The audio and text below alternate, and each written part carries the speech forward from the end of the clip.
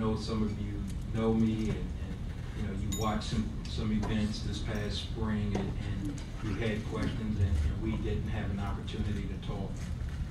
Yes, our, um, as you know, we had a, a, a vote for speaker on May first. Um, and I think by all accounts, I'm not telling you anything you don't know. Yeah, I did have the votes to win it. I had to put together a coalition to do it. Um, but I put together, the- I did it and we had the votes to win. Ultimately, guys, here, here's the thing, um, and, and it was just a decision I made while we were in Democratic caucus. Um, because of certain stances I've taken over the years on, on, on some social issues, uh, you either love me or hate me in Annapolis. That's pretty much what it comes down to. Um, there's not a lot of room for compromise. You, you're either in the club or you aren't, so to speak. And, and I'm fine with my choices. I, um, I sleep well every night. Um, not, you know, we'll, we'll leave it at that. I sleep well every night. I, I did what I thought was right. But there are prices to pay when you do. You're, you're not always the most popular and that, you know, the most welcomed in, into all groups, and, and I understand that as well. But the bottom line was, as an African American, it was important. I had been down, when I first got to it, Rushern and I went to Annapolis together in the ninety-four election, ninety-five was our first session. Uh, there was one African American chairman, Pete Rawlings. And then through the course of time, I, I got appointed chairman in two thousand three. Me and Chairman Rawlings overlapped in two thousand, for the two thousand three session. But he was, um, he was transitioning, uh, and, and so he passed later that year. And so for the last sixteen sessions, it had just been me. And so when I looked around the room and I saw the various groups that made up the Democratic constituency, that I'd seen the growth and, and, and, and so forth, but I looked at it, when I first got down there twenty-five years ago, there was one African-American chairman. Twenty-five years later, there's still one African-American chairman. I noticed that the other positions, um, a- as a community, we were always good enough to be deputy this, assistant that, the number two, the number three, but never the number one.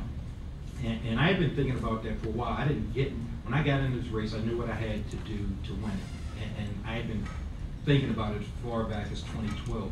So I knew exactly what it needed to do. And that was, I was gonna have to, because of circumstances, I was gonna have to partner with members of the Republican Party to be able to, to get that together. And in any event, to fast forward, the bottom line was, I had the votes to win. We, you all read about that four-hour marathon uh, uh, Democratic caucus meeting, and it became clear to me that I could get the win and I could take the battle and, and, and, you know, the history and all of that, but it wasn't going to work. It, it was clear in that room that I was going to be battling every step of the way. And you, you know, I, I remember something you said, Pastor Jenkins, when um, when Angela Alsobrooks had won, and you had mentioned that all the how she handled with grace and dignity all, all the arrows and slings, and she didn't fight back. I'm not quite where Miss Alsobrooks is. I, I, I, I, don't start fights, but boy, do I like to end. And, and so I, I was, I felt myself relishing, like, you know, the Capitol Heights had kicked in, like, let, let's do this. But as, as, a, as a community, I, I mean, I knew as, as the first black speaker, this thing had to work. I had to be successful, or it would be difficult for those who were trying to follow me. That's something that, you know, you know, a lot who've been in the position, you know, of being the first, they know they have to make it successful um, for those to follow.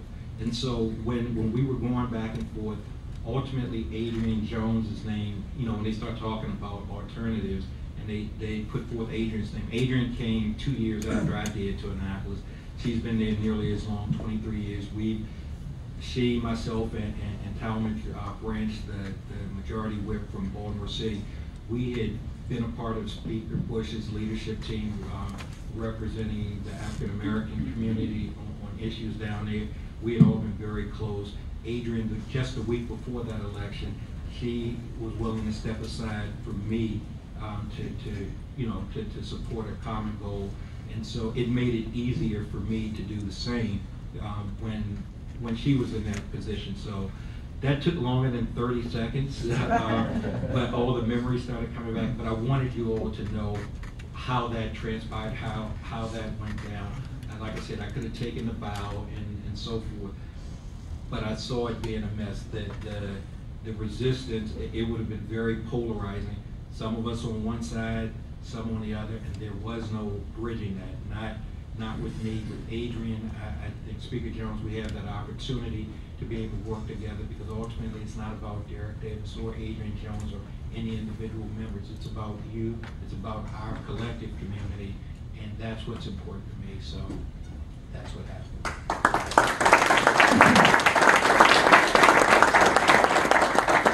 Derek, uh, on behalf of all of our members in the community, uh, we want to thank you for your courage uh, that you've shown during that process. And many of us were uh, obviously out here pulling for you. There wasn't much we could do because this was an internal vote, not one at the, at the polling stations. But uh, we would also encourage you to continue to do what you're doing, and continue to represent this county the way you have, because we, we see you still as a star and still see you as someone uh, that the future holds uh, a lot of bright things. And uh, again, we just congratulate you for your courage and what you've done. Let's give him another round of applause.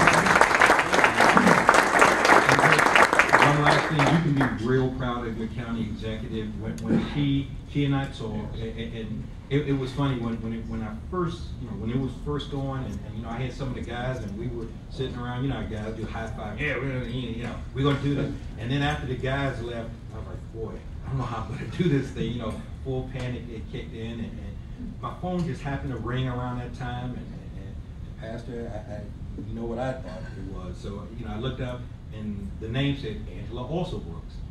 So, you know, fire intervention, you know, and, and she said, come over to the house, we need to talk. And, and so, you know, we sat down and talked. And I told her, she said, I'm with you, I'm gonna do what I can to help you. And, and I asked her not to. She'll tell you, I said, don't. I said, this is gonna be highly political. You got a bright future ahead of you. And if you get into this, they're gonna come back after you. You got a government to run, you got your own future. You know, I can handle it. And she said, no, I don't care what they do. I, I'm, I'm in it with you. And she, everything that I told her was gonna happen came, and she didn't flinch. She, um, you know, she, they pushed her and she pushed back. Um, uh, Gently. She pushed back, so I just only tell that story to say, we got a very strong leader. Don't let the niceness and the petite size, and don't, don't let all that fool you. She is a powerhouse. He has a bright future and definitely somebody we can be proud of. Thank you. I think a lot of people.